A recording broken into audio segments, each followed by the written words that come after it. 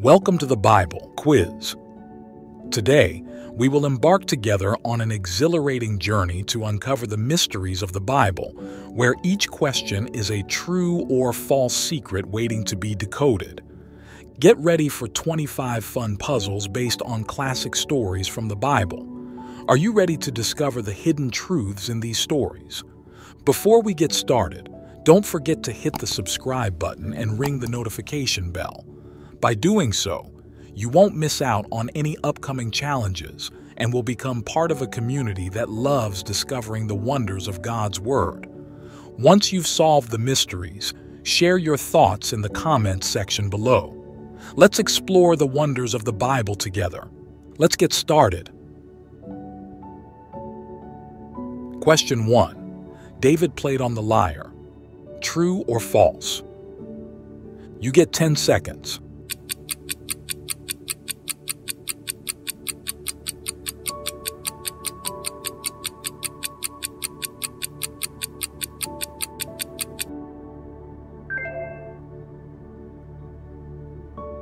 Answer is true. David, who later became the second king of Israel, was known for his skill with the lyre, a type of harp. He was brought to King Saul's court to play music on the lyre to soothe Saul's troubled spirit, as recorded in 1 Samuel chapter 16 verse 23. This talent also played a significant role in David's life and relationship with Saul. Question 2.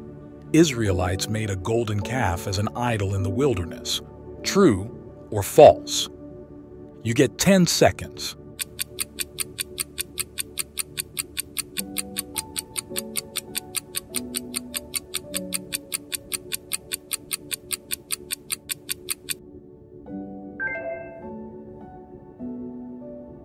The answer is true.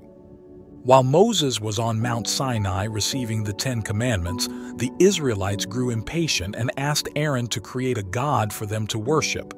Aaron complied by fashioning a golden calf from their gold jewelry. This act of idolatry is detailed in Exodus chapter 32, verses 1 to 6, and resulted in God's anger and Moses breaking the stone tablets with the commandments. Question 3. Peter and John healed the blind man at the temple gate. True or false? You get 10 seconds.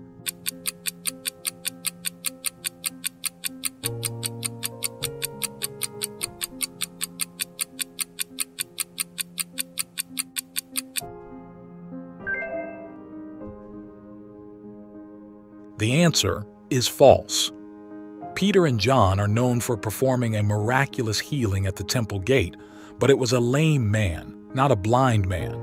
In Acts chapter 3, verses 1 to 10, they encounter a man who was lame from birth, begging at the temple gate called Beautiful.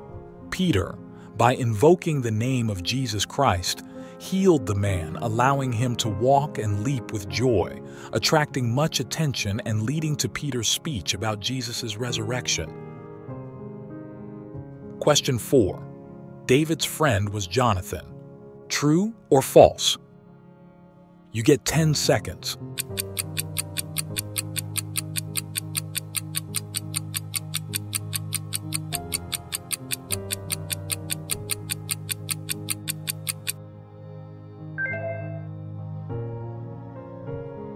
The answer is true.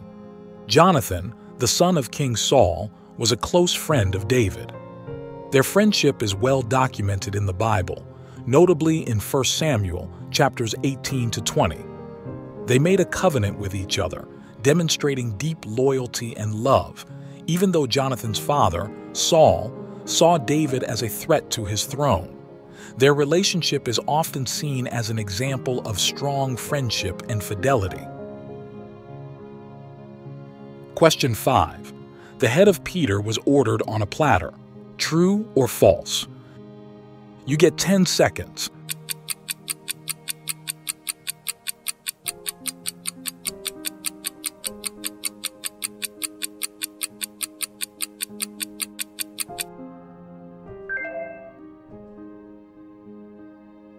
The answer is false. The Bible does not record an event where the head of Peter, one of Jesus' disciples, was ordered on a platter. This event is actually associated with John the Baptist, who was beheaded at the request of Salome, Herodias' daughter. The story found in Matthew chapter 14 verses 1 to 11 describes how Herod Antipas had John the Baptist beheaded after Salome's request, with his head presented on a platter during a banquet. Adored mate, subscribe today and become part of our community. May God bless you. Question 6. Peter, James, and John witnessed the transfiguration of Jesus. True or false? You get 10 seconds.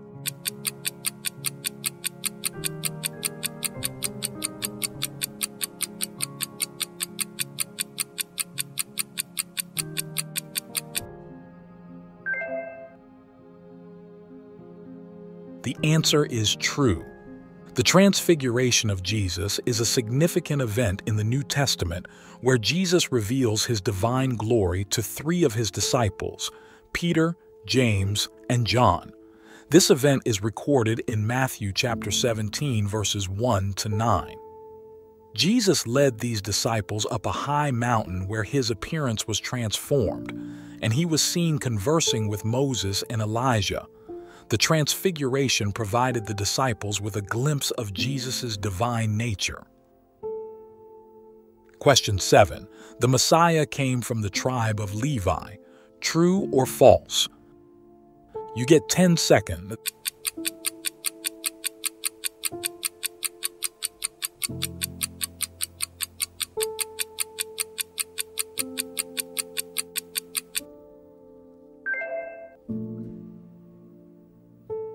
Answer is false. The Messiah, as prophesied in the Old Testament and revealed in the New Testament, came from the tribe of Judah, not Levi.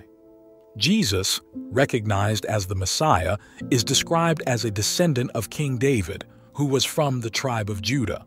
This lineage is highlighted in prophecies such as Genesis chapter 49 verse 10 and is confirmed in genealogies like Matthew chapter 1 and Luke chapter 3. Question 8. Moses brought forth water from a rock two times. True or false? You get 10 seconds.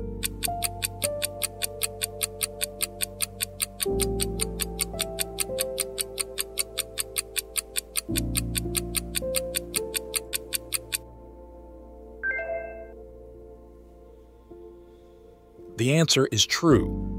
The first time occurred in Exodus chapter 17 verses 1 to 7, where Moses, following God's instruction, struck the rock at Horeb and water came forth for the thirsty Israelites.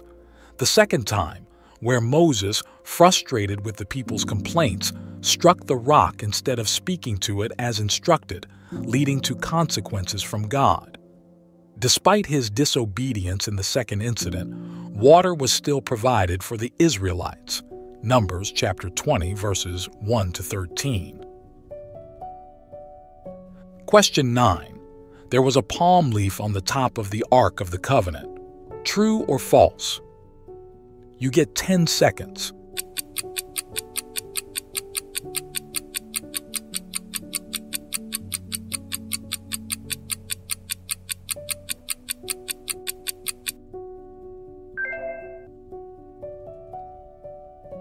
The answer is false.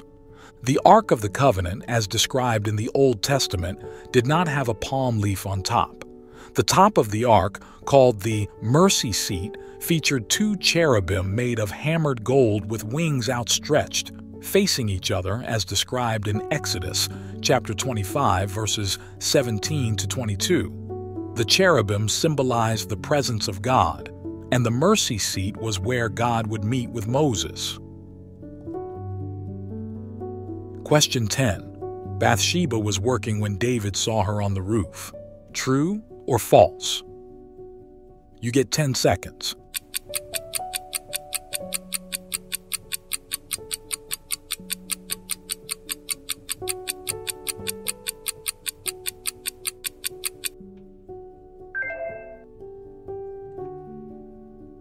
The answer is false.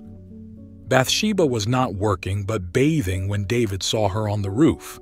The story is recorded in 2 Samuel chapter 11 verses 2 to 4, where King David from his palace roof saw Bathsheba bathing. He was attracted to her and later committed adultery, leading to significant consequences for David, Bathsheba, and their families. Question 11. Jesus was baptized in the Jordan.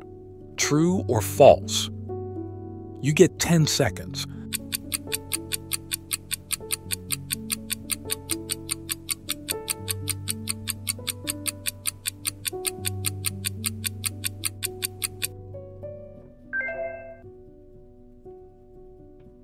The answer is true. Jesus was indeed baptized in the Jordan River.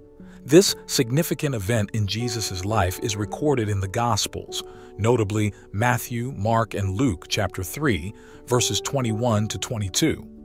John the Baptist performed the baptism, marking the beginning of Jesus' public ministry and symbolizing his commitment to God's plan. During the baptism, the Holy Spirit descended upon Jesus in the form of a dove, and a voice from heaven proclaimed him as God's beloved Son. Question 12.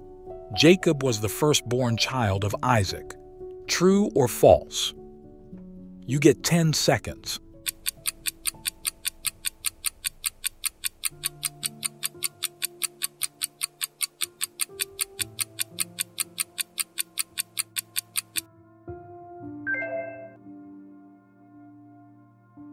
The answer is false. Jacob was not the firstborn child of Isaac. That title belonged to his twin brother Esau.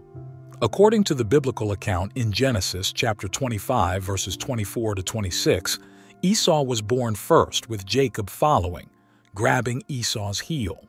This led to Jacob's name, which can mean he who grasps the heel or supplanter. Although he was not the firstborn, Jacob eventually received the birthright and blessing through various events and deceptions. Question 13. Jacob and Esau buried Abraham. True or false? You get 10 seconds.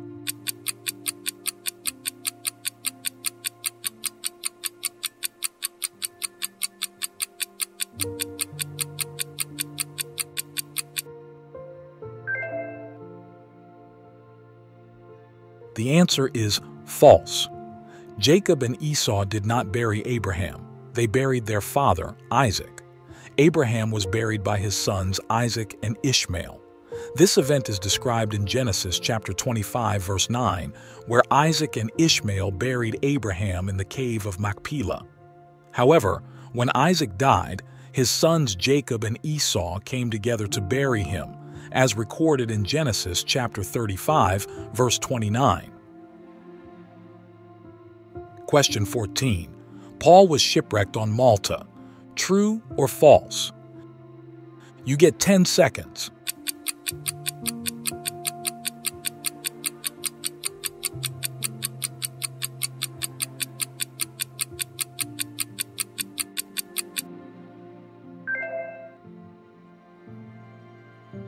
The answer is true. This event is detailed in Acts chapter 27 and Acts chapter 28.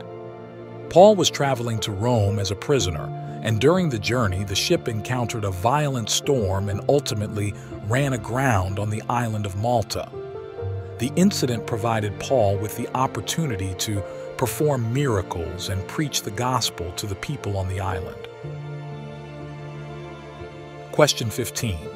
In the parable of the sower, the seed represented the Pharisees. True or false? You get 10 seconds.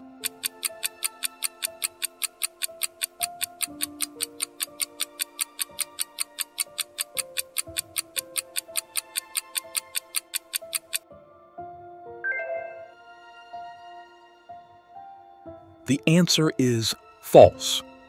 In the parable of the sower, the seed does not represent the Pharisees.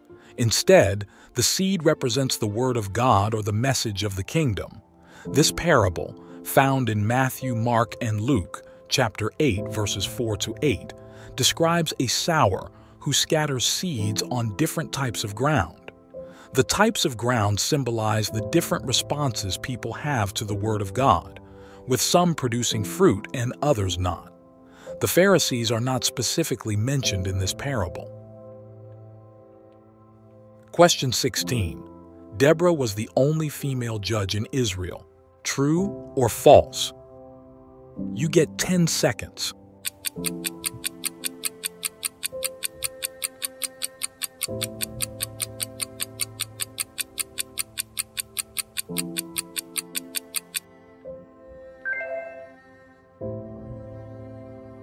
The answer is true. Deborah was indeed the only female judge in Israel. She served as a prophetess and judge during a time of oppression by the Canaanites, leading Israel to victory with the help of Barak. The account of her leadership and victory over the Canaanites, particularly against the commander Sisera, is detailed in Judges, chapter 4, and Judges, chapter 5. Deborah is a significant figure in the history of Israel, known for her wisdom and leadership. Question 17. Noah lived 1050 years. True or false? You get 10 seconds.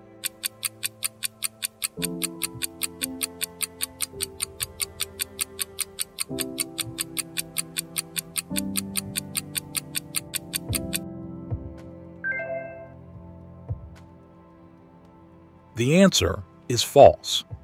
Noah did not live for 1050 years. According to Genesis chapter 9, verse 29, Noah lived for 950 years. His long lifespan is consistent with the extended lifespans of many biblical figures in the pre-flood era. Question 18. 40 people died when a tower of Siloam fell. True or false? You get 10 seconds.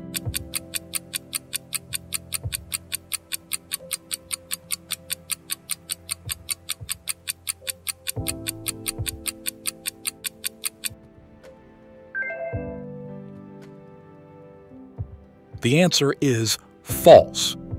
In the New Testament, Jesus mentions an incident where a tower in Siloam fell, but the number of casualties is given as 18, not 40.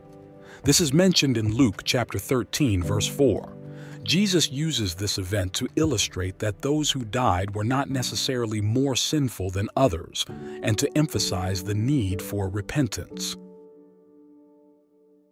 Question 19. Rachel and Leah were Jacob's wives. True or false? You get 10 seconds.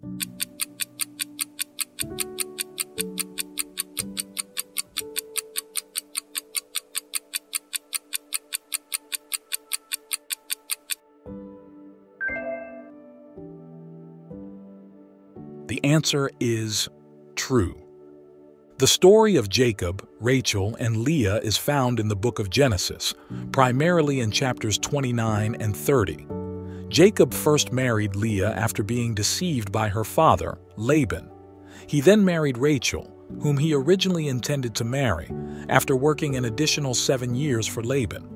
Rachel and Leah played a significant role in the lineage of the 12 tribes of Israel, as they were the mothers of Jacob's children. Question 20. The locust killed the plant that God provided Jonah for shade. True or false? You get 10 seconds.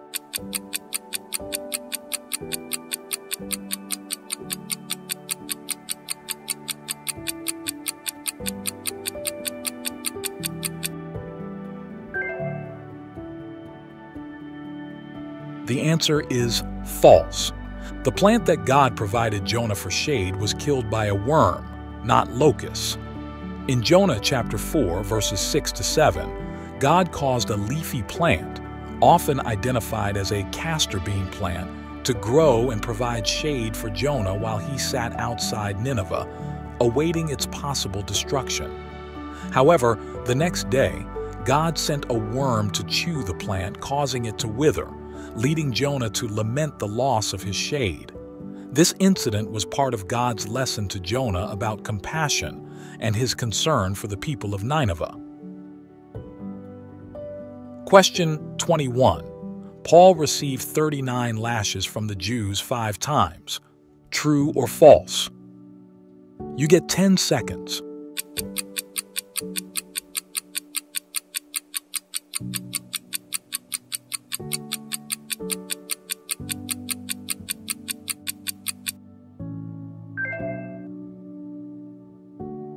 The answer is true. This is found in 2 Corinthians chapter 11 verse 24, where Paul lists the various sufferings and persecutions he endured for the sake of the gospel. The 39 lashes, often referred to as 40 lashes minus 1, was a punishment according to Jewish law, which limited the number of lashes to prevent excessive cruelty. Paul experienced this punishment multiple times during his missionary journeys and ministry. Question 22. Peter's shadow healed the sick. True or false? You get 10 seconds.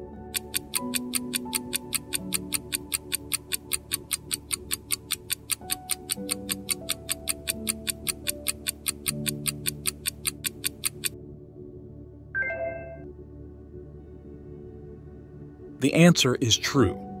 In Acts chapter 5 verses 15 to 16, it is mentioned that people brought their sick into the streets and laid them on beds and mats so that Peter's shadow might fall on them as he passed by. This resulted in many people being healed. This extraordinary event demonstrates the significant role of the apostles in the early church and the powerful influence of the Holy Spirit. Question 23. The Ethiopian eunuch was baptized by John. True or false? You get 10 seconds.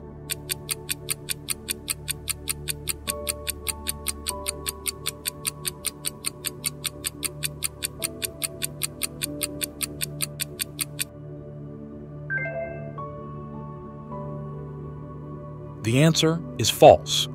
The Ethiopian eunuch was not baptized by John the Baptist.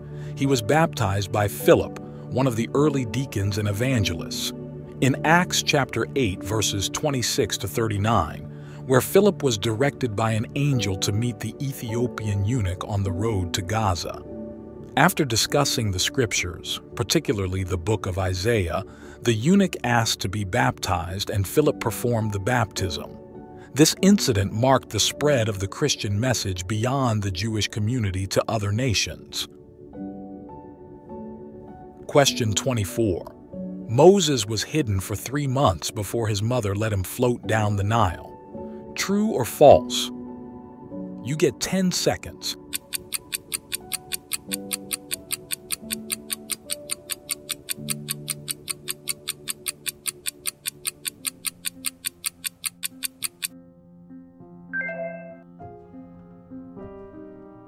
The answer is true.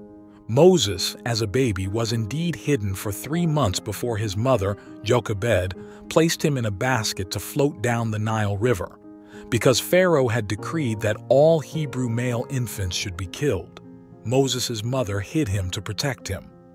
After three months, she placed him in a basket among the reeds by the riverbank, trusting in God's protection, leading to his rescue by Pharaoh's daughter, Exodus chapter 2, verses 1 to 3. Question 25. Jethro was the successor of Moses. True or false? You get 10 seconds.